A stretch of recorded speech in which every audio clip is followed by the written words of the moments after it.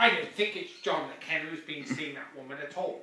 I think it's you who's been seeing that woman, and you're just telling me all this to stand you in good stead for when I find out. That's what it is, isn't it?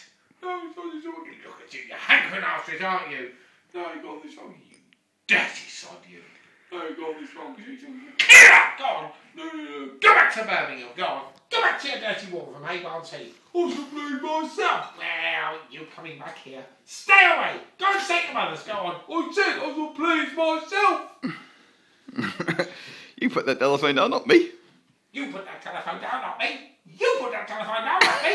you did it. You did it. I did not. Yes, you did. I did not. I'm so like you. know you're always putting it down. I'm so angry when I think. Oh, what do you think I am? Uh, Jonathan, will you please put that off? Mary, I'd love to go.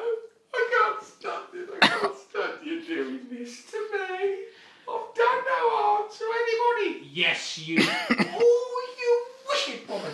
You're doing anything to get me around that. You're doing anything. No, I'm not. Yes, you are. You know you are. You're a sly woman. You're creeping and you're sly. right.